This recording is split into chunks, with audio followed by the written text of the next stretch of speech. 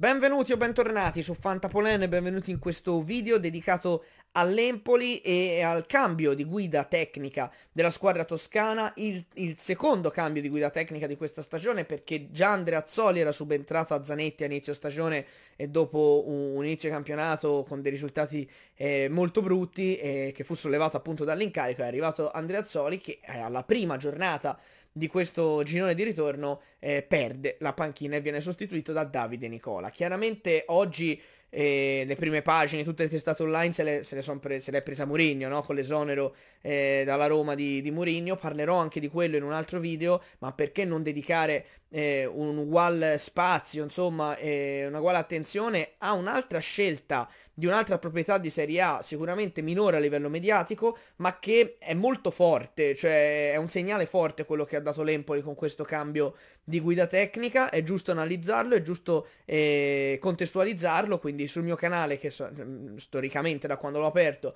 do molto spazio anche alle realtà di cui si parla meno, questa secondo me è una cosa di cui dover assolutamente parlare. Ovviamente questi due zone riprendono il sopravvento sulle varie operazioni di mercato che porterò, ma eh, queste, queste due notizie ovviamente vanno trattate. E veniamo appunto al, eh, all'Empoli. L'Empoli che come dicevo prima, è, è, al terzo allenatore della stagione. Ovviamente quando una squadra cambia più volte allenatore all'interno della stessa stagione vuol dire che qualcosa non va. E Diamine può anche essere allenatore stesso e anche il secondo che provi, che possono essere sbagliati, però probabilmente c'è qualcosa che non va anche eh, più in fondo, alla, più alla radice insomma della, della storia. E, ehm, Zanetti, io come dissi nel video insomma del ritorno di Andrea Azzoli, trovate il mio video su, sul primo cambio di, di guida tecnica dell'Empoli e Zanetti secondo me mh, ha meritato l'esonero perché già al termine della stagione scorsa insomma aveva iniziato a scricchiolare e, e, secondo me non avrebbe meritato la riconferma sulla panchina dell'Empoli.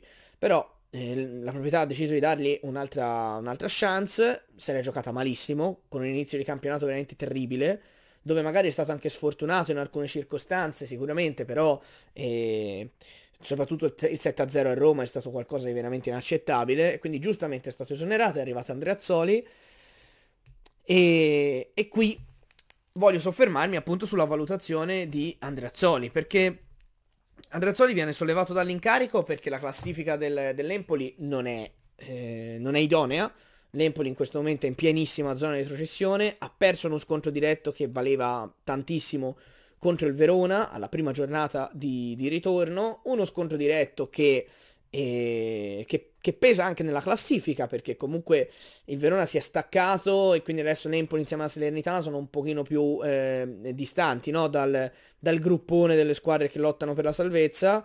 E non è ovviamente una cosa irreparabile, il campionato è lungo, si può tranquillamente recuperare anche perché sono tante le squadre a ridosso, insomma, dei 17-20 punti, però eh, è stata sicuramente una sconfitta dolorosa. Io non penso, o almeno ho sempre avuto quest'idea, insomma, nel, nel, calcio, che un allenatore non si può giocare una panchina su una partita. Cioè, io non credo che Andrea Azzoli sia stato eh, allontanato per aver perso questa partita col Verona. Io penso che sia stato allontanato perché evidentemente nelle valutazioni di Corsi e della dirigenza eh, la, l'impatto di Andrea Azzoli nel, nel, gruppo squadra non è stato quello desiderato, quello sperato. Io penso sia più quello perché il risultato di una partita molto spesso è influenzato da degli episodi eh, che sono, eh, non dico casuali, però sono eh, unici. Eh, quindi quando tu valuti il rendimento di un allenatore, le potenzialità di un allenatore, valuti un percorso. Andrea Zoli, ora non mi ricordo a che giornata è subentrato a Zanetti, ma mi sembra tipo alla sesta, una, alla quinta, una cosa di questo tipo. E Andrea Zoli ha allenato per 15 partite circa l'Empoli e, e quindi ha fatto un percorso. Quindi se tu mandi via Andrea Azzoli dopo 15 partite non è perché ha sbagliato la quindicesima, è perché evidentemente anche nelle 14 prima non ti ha particolarmente convinto. E, e quindi voglio parlare di questa cosa, perché secondo me eh, c'è un problema di fondo nell'Empoli che, che dicevo prima, e, e il problema di fondo è la rosa.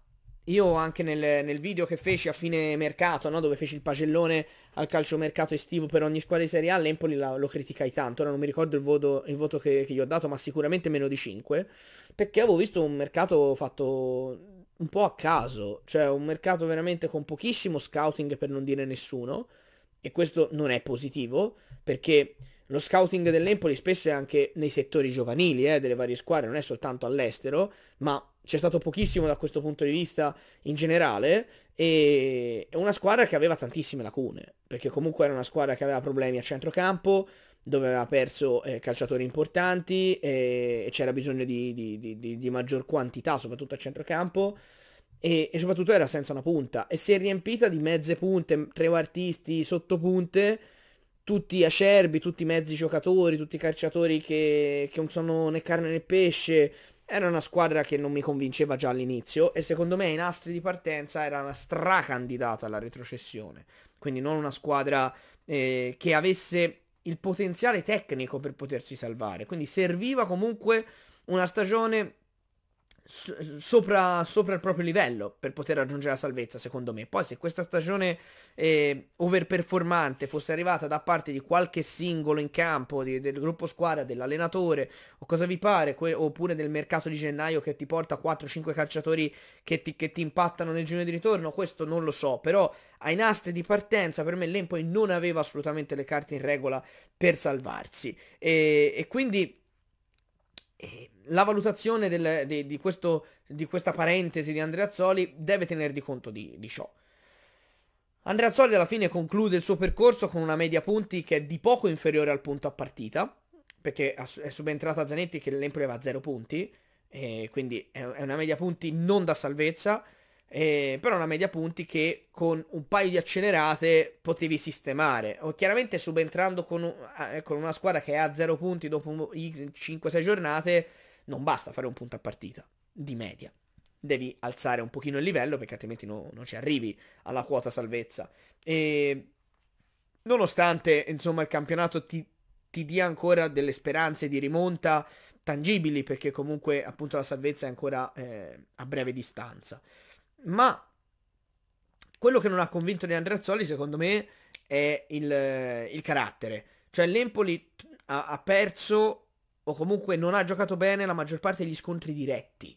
Quello è stato, secondo me, il vero problema. Perché l'Empoli 6 dei suoi 12 punti in campionato, 14 scusate, mi sembra 14. E 14, se, se mi date un attimo lo controllo, aspettate un attimo che sposto qua perché tanto la classifica sul cellulare. Allora. E... Empoli 13 punti, ok, eh, tra 12 e 12 ce li ha la Salernitana. Dei 13 punti che ha fatto l'Empoli con Andreazzoli in panchina, 6, quindi la metà praticamente, li ha fatti eh, nelle due trasferte incredibili di Napoli e Firenze. Due prestazioni differenti perché a Napoli è stato praticamente preso a pallonate e si sono allineati i pianeti insomma per portare fuori i tre punti da quella partita. A Firenze ha fatto una partita di grande cinismo, di grande organizzazione e, e ha strappato sei punti in queste due partite che fanno poi la classifica perché con due sconfitte in quelle due partite l'Empoli sarebbe a sette punti. Secondo me questa cosa non è passata inosservata perché quelle due prestazioni che si sono viste eh, a, a, Empoli e, e, a, e, a, Firenze non sono state sostanzialmente replicate. Addirittura qualche punto che l'Empoli ha fatto l'ha fatto non dico casualmente ma comunque l'ha fatto soffrendo molto. Penso ad esempio a Cagliari, penso a Genova. Eh, punti che, che l'Empoli ha portato a casa negli scontri diretti ma eh, in, in prestazioni dove era più facile perdere che vincere e quindi secondo me sono stati allineati i puntini e è stato ritenuto inidoneo eh, Andreazzoli, che per me non è il responsabile principale di questo rendimento brutto della, dell'Empoli, eh, perché ribadisco per me la squadra non è all'altezza della categoria, assolutamente, eh, ma eh, l'Empoli ha fatto una scelta forte. E qui voglio arrivare alla scelta di, di Nicola, che è una scelta ponderata sul valore che ha Nicola nel prendere le squadre a metà campionato da posizioni di classifica drammatiche e riuscire a dare quello, quello sprint emotivo il più delle volte che permette alle squadre di, di poter poi fare delle rimonte a volte anche eh, storiche, insomma. Ovviamente leggendaria la rimonta eh, fatta con il Crotone, ma anche quella fatta con la Salernitana tre anni fa non ci scherza. E quindi si sta comunque parlando di, di, un, di un, allenatore che, che, nel suo curriculum vanta tante rimonte, perché ovviamente quelle di Crotone e Salernitana sono quelle più, più lampanti, però eh, Nicola ha salvato anche il Genoa. Eh, prendendolo quando Tiago Motta iniziò la, il suo percorso da allenatore che era molto acerbo, Genoa era ultimo in classifica, lo prese Tiago Motta e l'ha salvato. Eh, il, Nicola ha salvato il Torino che era in caduta libera assoluta quell'anno lì e da tifoso Granata insomma è stata una bella storia anche quella comunque ha salvato il Torino da una retrocessione che per quello che era il trend della squadra sembrava scritta e ha fatto bene anche a Udine cioè comunque se poi si va a vedere qual è il suo rendimento da allenatore subentrato ha sempre avuto una media ampiamente superiore al punto a partita, un punto e uno, un punto e due, quelle che eh, a volte anche di più, che hanno permesso alle proprie squadre di rimontare. E quindi è un allenatore che è maestro in questa circostanza, forse il miglior allenatore che c'è in Italia in questo fondamentale specifico, cioè quello di eh, spingere le, le, potenzialità della squadra al massimo, tirando fuori questa, questa verve agonistica che permette alle squadre di fare delle rimonte che altrimenti sembrerebbero impossibili. Poi non è l'allenatore idoneo per iniziare una stagione, per, per, aprire un ciclo, perché poi ovunque è stato riconfermato, poi ha iniziato male ed è stato esonerato. Però nel, nel subentrare a metà stagione per, eh, come si può dire, far resuscitare una squadra è assolutamente il numero uno. Cioè su questo proprio non ci sono dubbi. Ha preso squadre che giocavano anche con moduli differenti e qui voglio arrivare a un Empoli che sono tre anni che gioca con un modulo diverso perché con Dionisi in Serie B faceva il 4-3-3 e, o, o, il 4-2-3-1, comunque lì dipendeva da, dal terzo centrocampista che a volte eh, giocando eh, co, a punta, insomma, il centrocampo uh, diventava un 4-2-3-1, però eh, in Serie B l'Empoli giocava così, in Serie A ha proseguito con questo modulo, con la difesa a 4 e comunque il tridente offensivo, riproposto anche da Zanetti. Andrea Azzoli stesso, diciamo che in attacco era un pochino più, eh, più, più liquido, ecco, il modulo offensivo, però comunque il 4-3 o il 4 in difesa, comunque sempre una costante di questa squadra. Arriva Nicola che invece è assolutamente un, un, un, un adepto del 3-5-2 mh, o del 3-4-2-1 tutt'al più, comunque difesa a 3, gioco sugli esterni, cross in area di rigore, cioè ha uno stile di gioco completamente differente. E chiaramente questo cambio modulo che non so se Nicola poi metterà in pratica, perché la grande forza di Nicola non è tanto tattica quanto emotiva, cioè è un allenatore che riesce a, a trasmettere al gruppo squadra un, un agonismo positivo ovviamente, che permette a quelle squadre poi di, di, di azzannare gli avversari negli scontri diretti soprattutto, ma è uno... Eh, le squadre di Nicola spesso hanno strappato anche risultati importanti nei, nei, nei, nei match, insomma, contro le big. E quindi è, è, più un lavoro psicologico quello che fa eh, Nicola piuttosto che tattico, che è anche il motivo per cui quando inizia le stagioni e non deve ricaricare un ambiente scarico, ma deve impostare una stagione, va in difficoltà.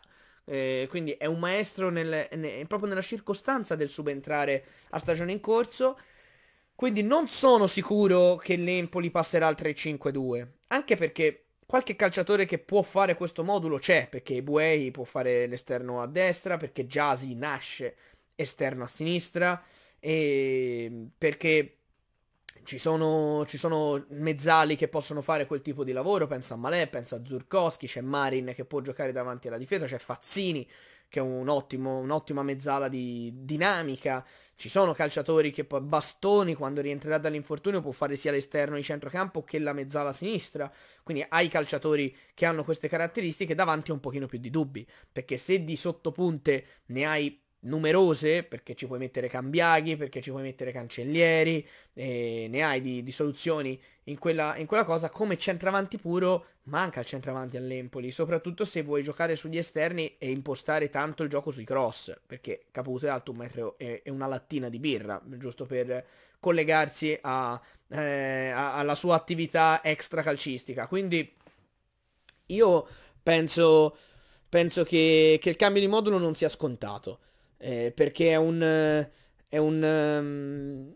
è una forzatura importante. Per quella che è la rosa dell'Empoli che da anni è impostata in altro modo, perché anche i difensori centrali sono pochi, eh, ci sono dei giovani interessanti, penso a Guarino, che è un ottimo giovane eh, che con la nazionale giovanile ha fatto grandi cose, penso a Goglicizze che è stato appena comprato, eh, c'è qualche giovane diciamo promettente, però giocarsi una salvezza con una difesa a 3 schierando dei bimbetti che poi possono essere anche migliori, però eh, può essere rischioso se oltre a questo ci metti che devi inventarti qualcosa davanti, che devi, che devi stravolgere un pochino l'identità di una squadra che è consolidata da anni. Quindi non sono sicuro del cambio modulo. Secondo me Nicola almeno all'inizio proseguirà con il 4-3-3, 4-2-3-1, insomma con questo modulo. Mi sorprenderei di vedere un 3-5-2 a inizio a inizio campionato, insomma, cioè alla sua prima uscita. Mi sorprenderebbe, vi dico la verità.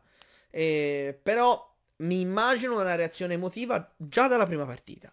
Perché è un allenatore che ci ha abituato a questo. E eh, una stagione miracolata capita a tutti. Giocatori, allenatori, dirigenti che magari in una sessione di mercato ti, ti, ti, chiappano due fenomeni ma sono gli unici due della loro carriera. Cioè, a tutti capita la stagione miracolata, il mese miracolato, insomma la parentesi miracolata di carriera.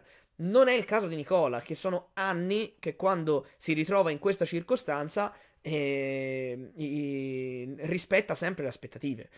Il grande segnale che ha dato l'Empoli, perché è qui che volevo arrivare, e che mi ha sorpreso, è che opinione mia, l'Empoli non voleva salvarsi questa stagione. Uno può dire, ma, ma, ma, cosa stai dicendo? Cioè, perché una squadra dovrebbe voler retrocedere? Perché è un pochino l'identità di questa squadra? Perché comunque rimanere in Serie A ha dei costi importanti. L'Empoli è una società sana, è una società che mh, mm, mh, mm, valorizza molto il settore giovanile, è una società che non ha con tutto il bene che si può volere ai miei vicini di casa, perché comunque Empoli sta a pochi chilometri da dove vivo io, e non ha un, un seguito a livello di, di, di, tifo particolarmente caldo, e quindi eh, è un po' l'identità dell'Empoli quella di essere un'altalena tra la Serie B e la Serie A, dove arriva in Serie A facendo ottimi campionati di Serie B, valorizzando tanti giovani, e mette in vetrina dei calciatori molto interessanti, molto spesso italiani, del, in Serie A, monetizza tanto, perché sono tanti calciatori venduti dall'Empoli a cifre importanti, gli ultimi sono stati Vicario e Parisi, ma eh, eh, se si va un pochino più indietro, insomma, sono, c'è, c'è, Aslani, c'è Bennasser, c'è Di Lorenzo, eh, c'è Caputo, eh, che non è giovane, però comunque è un calciatore che è arrivato in Serie A grazie all'Empoli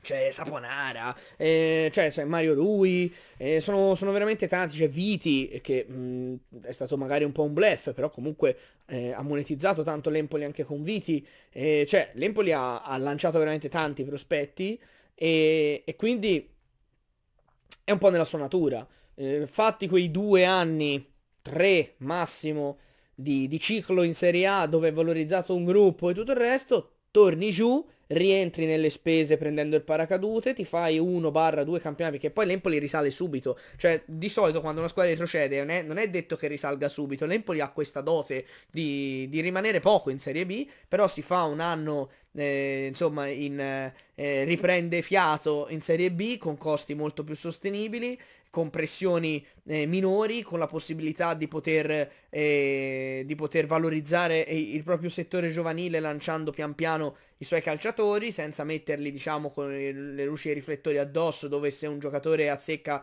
5 partite di fila ne parlano tutti come è stato ad esempio Baldanzi l'anno scorso e poi viene affossato magari anche dalle pressioni scompare dai radar in Serie B è, è diversa situazione e torna in Serie A con un gruppo già consolidato e quindi io mi aspettavo che l'Empoli anche per il mercato che aveva fatto, avesse già preparato la squadra della Serie B dell'anno dopo.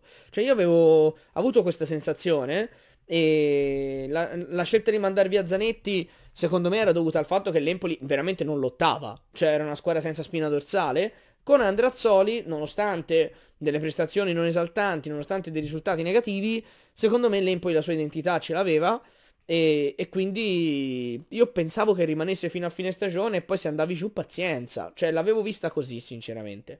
La scelta di Nicola invece è, è un, un, ribaltamento di questa mia considerazione perché se, se una squadra in zona di retrocessione a metà campionato prende Nicola evidenzia al mondo la sua volontà di salvarsi. E quindi l'Empoli con questa scelta ha definito che vuole non vuole andare giù, vuole rimanere in Serie A. E che ovviamente può sembrare scontato, ovvio, ma da toscano vi posso assicurare che non è così, perché per me l'Empoli era nel classico anno che andiamo giù.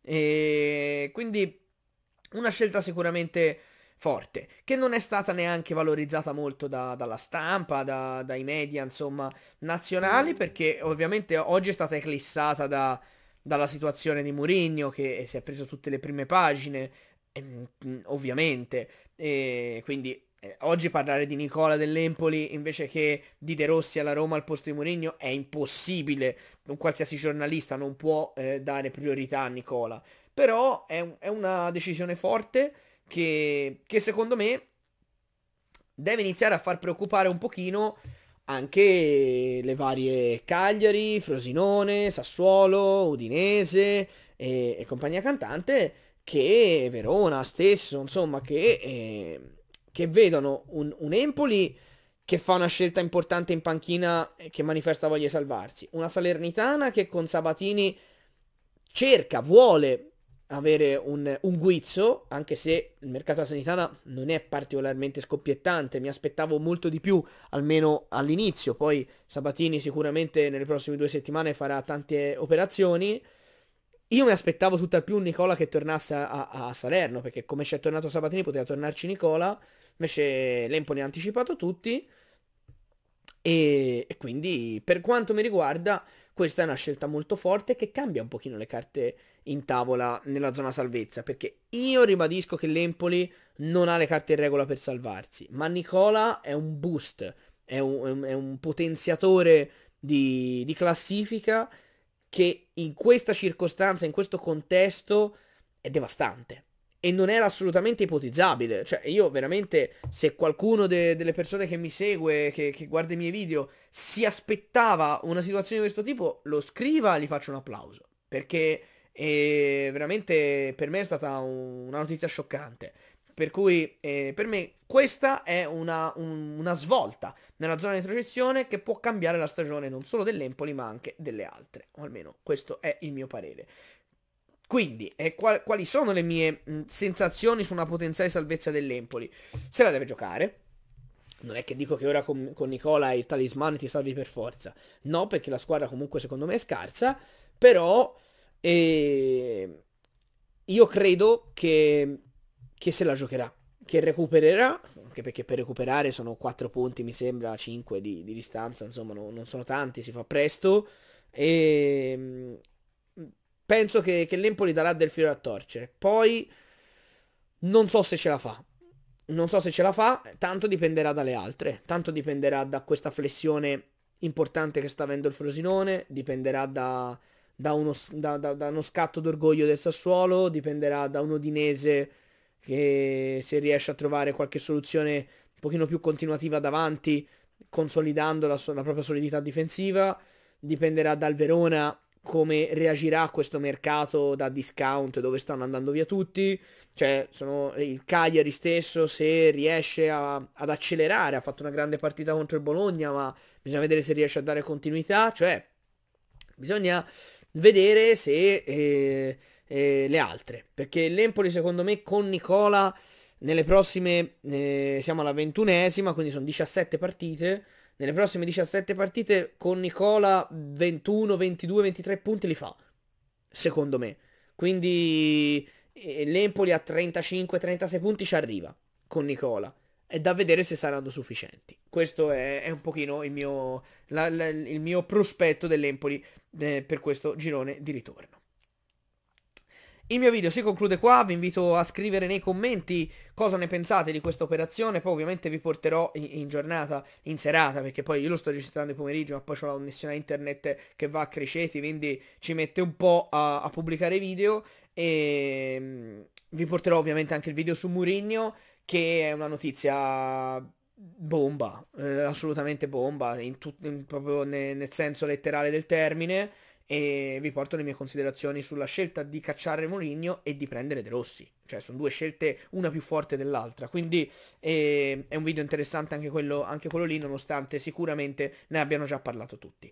Eh, iscrivetevi, al ca- iscrivetevi al canale se non lo siete per supportarmi, se volete maggiori contenuti. Potete comunque scrivere nei commenti, come vi dico sempre, leggo e rispondo sempre a tutti. Potete scrivermi anche in privato su Instagram o su Telegram. Potete chiedermi dei video specifici. Eh, vi dicevo che ho già dei video di calciomercato richiesti che sono Giannetti dell'Udinese e c'è, mi è stato chiesto Pierozzi alla Salernitana eh, mi è stato chiesto Pierotti a Lecce eh, quindi eh, de- de- delle richieste già ce le ho e porterò Faraoni alla Fiorentina, porterò Terracciano al Milan, forse porterò anche Spence a, al Genoa, insomma delle, de, dei video li farò sicuramente, ma se avete delle richieste specifiche, magari anche non di calciomercato e eh, di qualsiasi altra cosa, chiedetelo pure, io cerco sempre di accontentare tutti. Eh, condividete il video con chi pensate possa apprezzare le mie eh, considerazioni, le mie analisi, create un, un dibattito chiaramente civile nei commenti perché è quello che è più costruttivo per tutti, noi ci vediamo come sempre ai prossimi video. Un caro saluto a tutti, ciao!